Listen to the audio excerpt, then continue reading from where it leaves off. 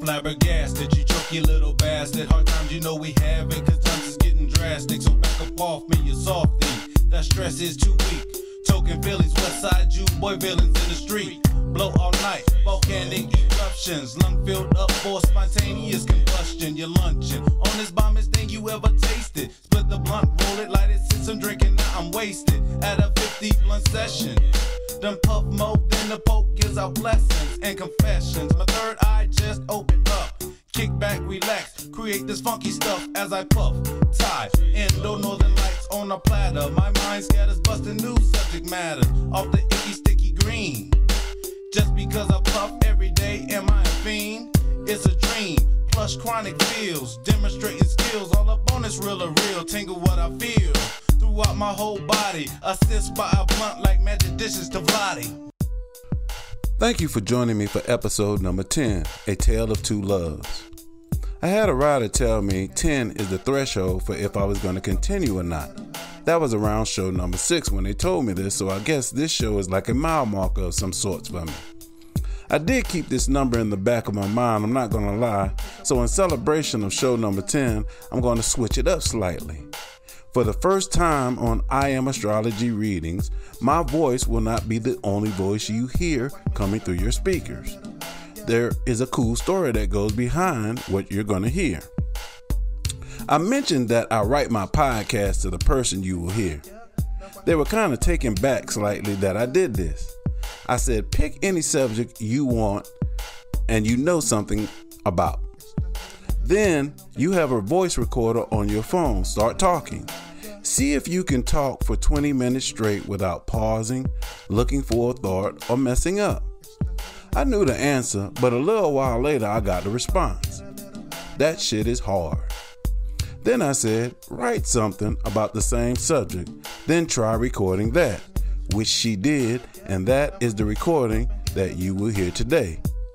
Now, what started off as showing someone the difference between grabbing the mic and freestyling a show and grabbing the mic with a thought and a subject and staying on point is another thing, and it turned into today's show. While listening to her recording and knowing her birth chart, I started hearing aspects of her chart coming through her story as she was telling it. If you knew what to look for, you could hear it as well. When I say look for, I mean the what, the where, the how she is using words and what she's using them to describe. And with her permission, I'm sharing it with you guys, and we will break down about the energy she's expressing after.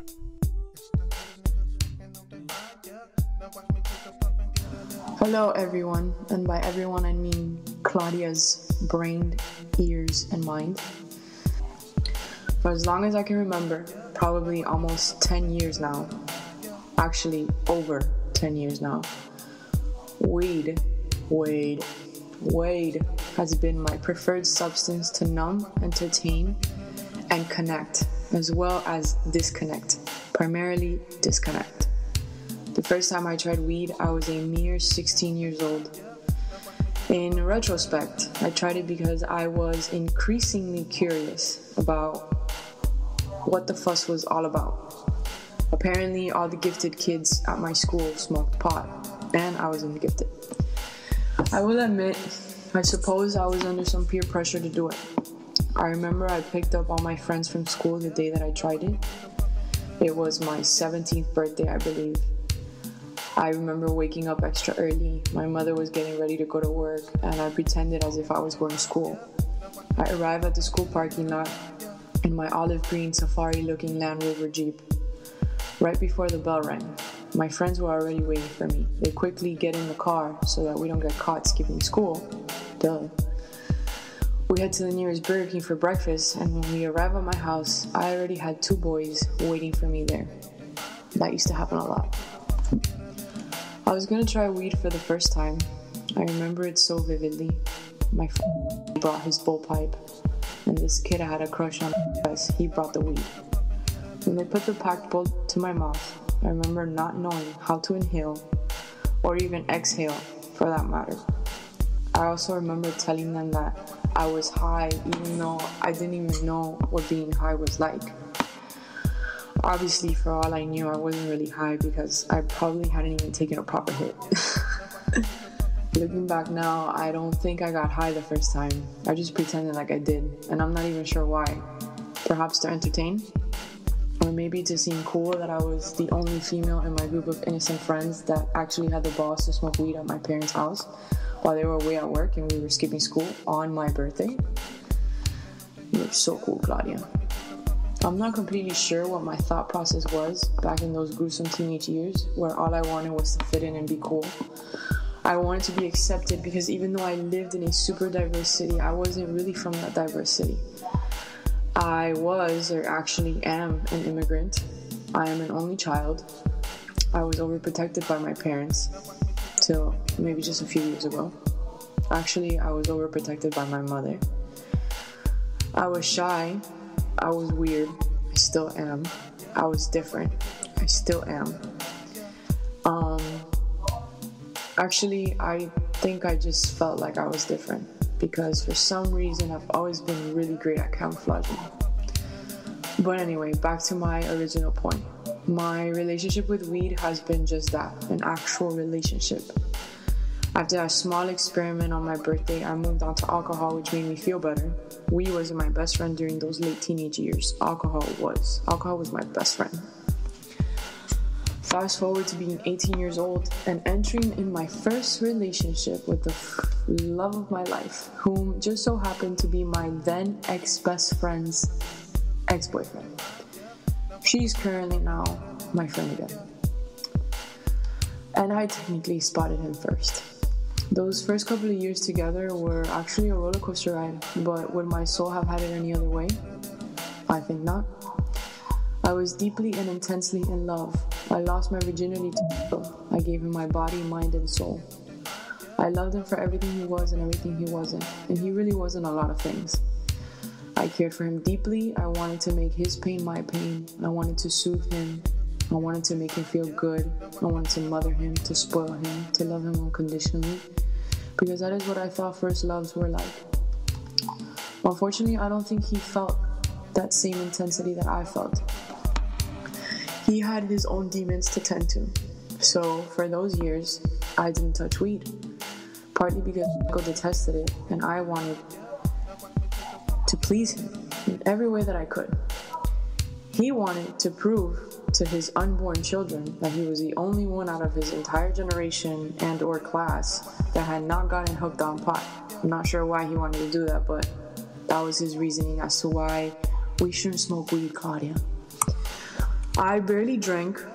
I did experiment with MDMA. With I actually loved MDMA, but uh, but weed was always out of the question with him.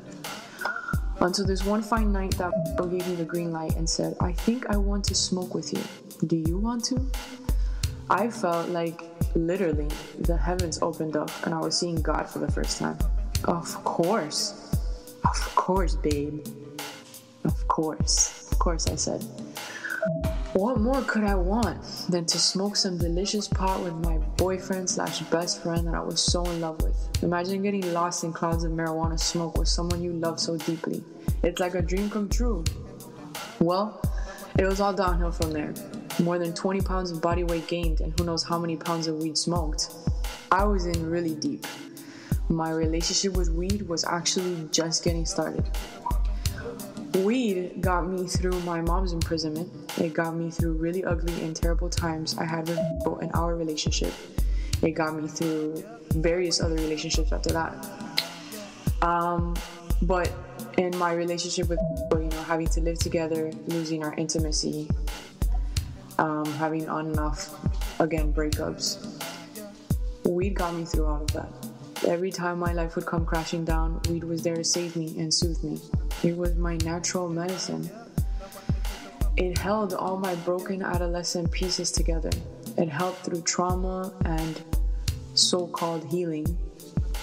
After and I broke up, we literally became my best friend.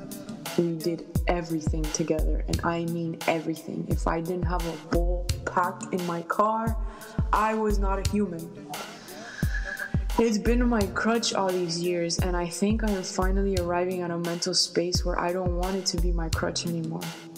I want weed, pot, cannabis, ganja, whatever you call it, to be a sacred medicine and healing tool for those that are in desperate need of relief without it becoming an addiction or a crutch.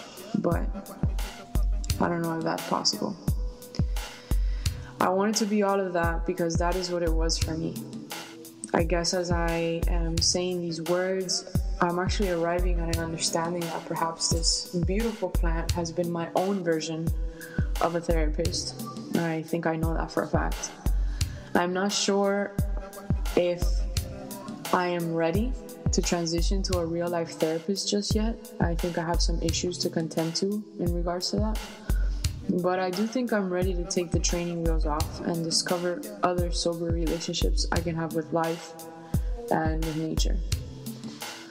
For now, though, I think I will probably continue to smoke a J and improvise until I can finally get rid of this, what I think is now a demon in my life. Simply because it doesn't give me the happiness that it used to. I used to feel so elated about being able to smoke weed. It was awesome. It was everything I ever wanted. It made everything feel better. It made me feel amazing. It made me feel like I was closer to the universe for some reason. But I don't know if it's something to do with age or maybe I'm maturing or maybe my body doesn't need it anymore. But I don't feel that way anymore. In fact, I actually feel like perhaps I lose clarity every single time I go to weed.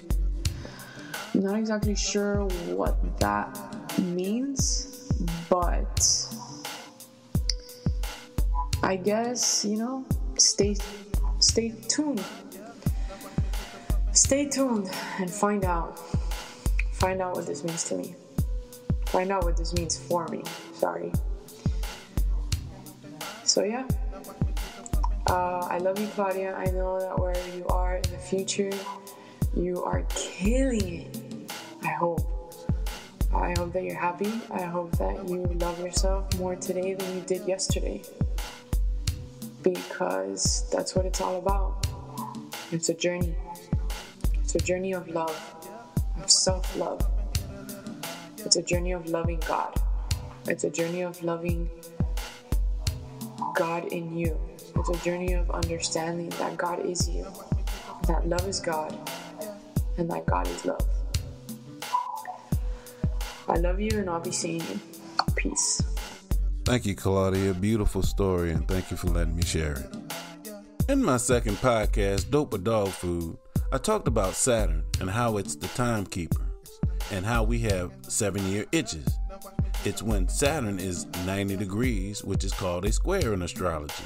And when it's 180 degrees, which would put it exactly opposite, it's called an opposition. And the return is when it comes all the way back to where it started, which takes 28 to 30 years. Claudia is currently entering into her Saturn return. She just made 28. She has Saturn in Aquarius in her natal chart. One thing I found interesting is the story she tells happens during her Saturn opposition, which would have been around 14 years ago, spanning a two and a half year span. Entering into her return, she is reflecting back on her opposition. The next thing I want you to know is Claudia is a Pisces. Pisces love escapism of all forms. Things like drinking, drugs, video games, music, even books. Anything that takes them from this world into the land of dreams and illusions. Just by the subject, you can hear the Pisces. She has Saturn in Aquarius in her natal chart, which would put Saturn transiting, traveling through the sign of Leo during the time all of this is happening. When you think Leo, think center of attention and wanting praise. To get attention and praise, you not only have to be part of a group, but do things the group is doing to fit in. She says she don't know why she did it, perhaps to entertain. You entertain for praise, which is Leo energy. She talked about the gifted kids and how she was the only girl hanging out with the boys, wanted to be cool and fit in. She also talked about how she was different in many ways, even culturally. All of this is pointing to her Saturn being in Aquarius in her natal chart. During this time, she's being shown how different she really is and beginning the 14 year journey to all of that coming to a head the Saturn return. It's like the last 14 years has been building up and preparing her for this period she's entering into now. Next, with Saturn traveling, transiting through Leo, it's actually triggering something else in her chart. Saturn is now making a challenging or uneasy aspect, squaring, to her Pluto sitting in Scorpio in her eighth house. The eighth house topics are like death, taxes, sex, and other people's money. But I also put deep bonded relationships here as well. Scorpio is the sign of extreme black, white, no gray area. All in or all out. Usually no middle ground. She has two relationships start at this time, and you can hear the extremeness of the relationships as she talks about it.